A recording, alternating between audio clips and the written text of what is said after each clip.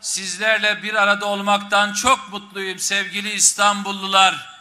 Bu şehrin eşsiz ve güzel insanları, Atatürk ve Cumhuriyet sevdalıları. Hoş geldiniz, sefalar getirdiniz. İstanbul'umuzun kurtuluş yıl dönümü kutlu olsun. Biz sevgili hemşehrilerim bu şehrin her güzel anını birlikte kutlayacağız. Her güzel anını bu memleketin birlikte yaşayacağız.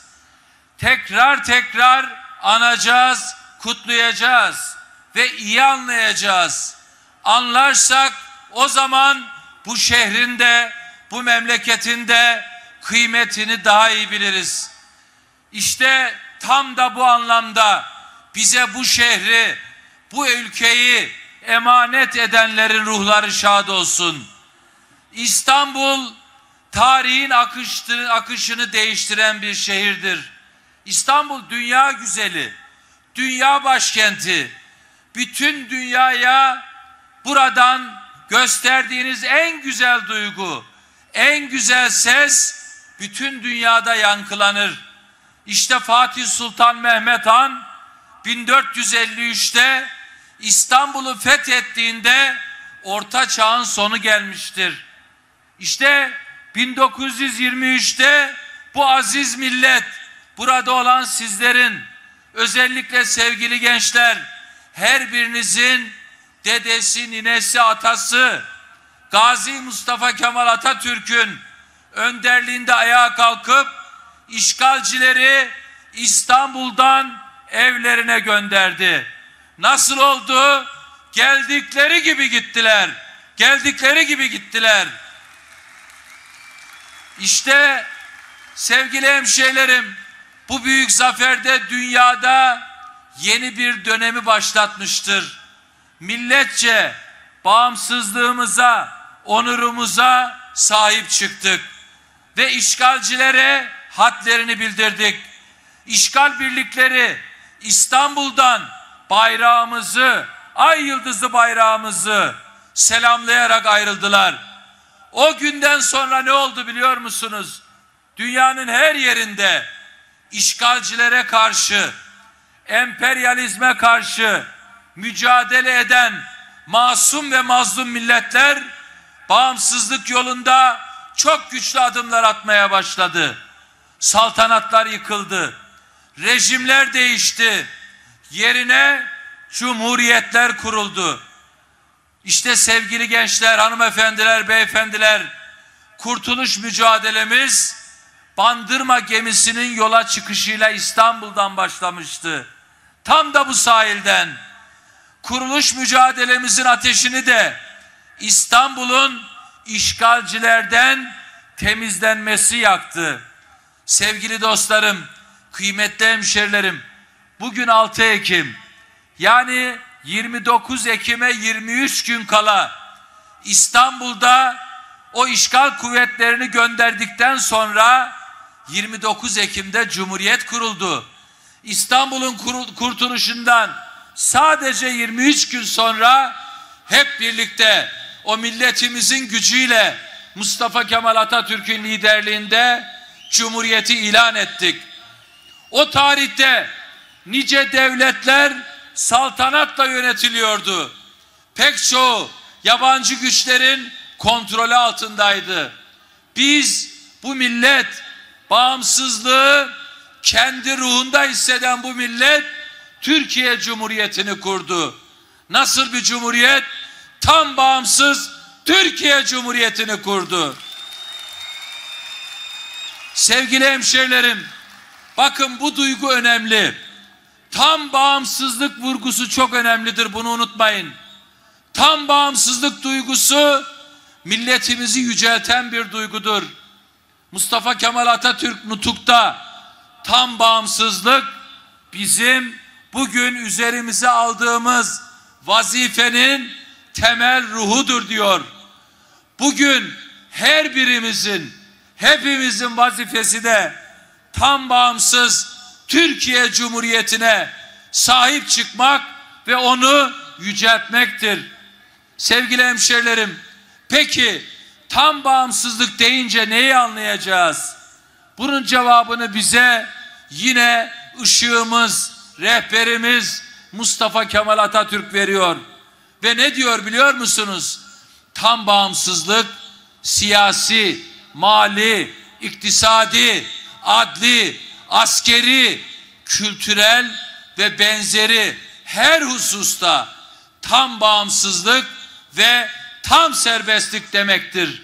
İşte bu saydıklarımın herhangi birinde bağımsızlıktan mahrumiyet millet ve memleketin gerçek manasıyla bugün bağımsızlığından mahrumiyeti demektir. İşte sevgili hemşerilerim sadece tam bağımsızlık lafı lafta değil. Atatürk'ün de işaret ettiği gibi tüm hususlarda tam bağımsızlık demektir.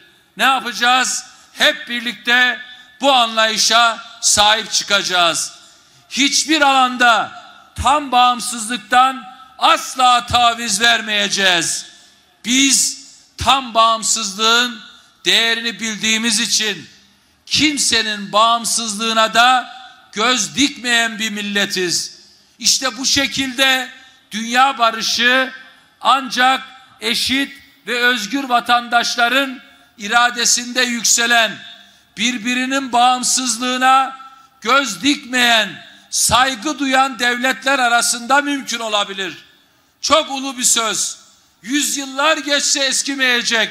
Atatürk'ün ne dediği yurtta barış, dünyada barış dediği o sözünün anlamı tam da budur.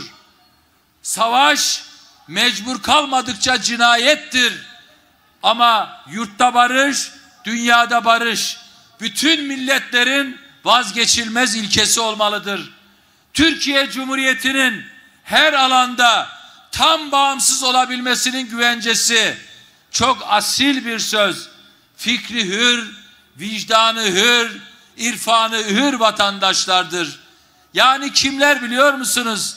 Sizlersiniz. Özellikle sevgili çocuklar, sevgili gençler, hanımefendiler, beyefendiler, İstanbullular kendinize güvenin. Gücünüzü bilin. Kararlarınızı hiçbir baskı altında kalmadan kendi özgür iradenizle alın. Bakınız fikri hür, vicdanı hür nesiller yaratıcı insanlardır. Ülkesini, milletini geliştiren insanlardır. Sizler hiç kimseye, hiçbir fikre, hiçbir inanca körü körüne itaat etmeyen insanlarsınız.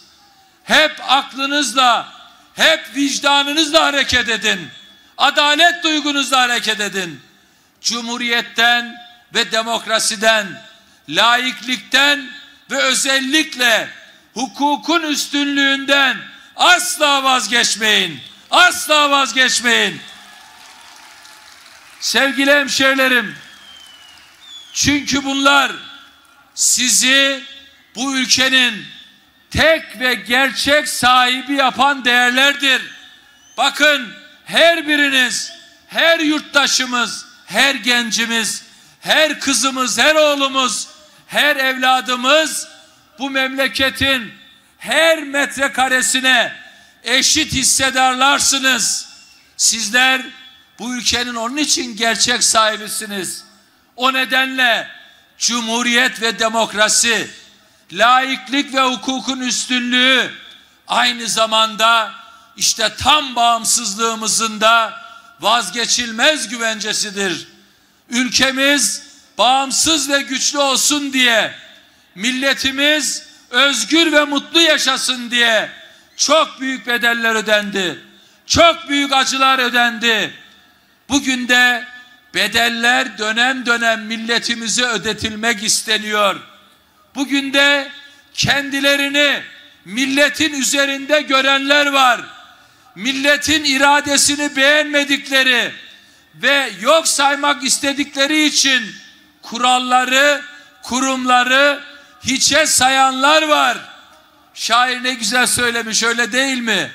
Hangi çılgın bana zincir vuracakmış şaşarım. Sizler buna müsaade etmeyin. Etmeyeceksiniz. Sizler sizler bizim milletimizin evlatları bu davranışta bulunanlara da onlara da doğru yolu siz göstereceksiniz.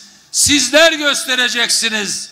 Nasıl aklınızla, vicdanınızla, ahlakınızla, vatanseverliğinizle doğru yolu göstereceksiniz.